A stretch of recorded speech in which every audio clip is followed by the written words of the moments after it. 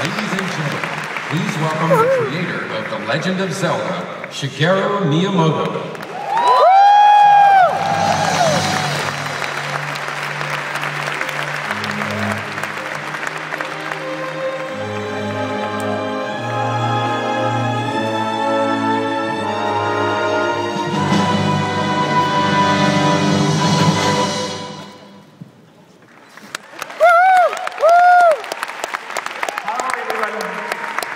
And welcome. Mm, Zelda. it sure does bring back memories. ah, okay. I'd like to ask Mr. Bill Trinen from Nintendo of America to translate for me. Once again, this is. That's amazing.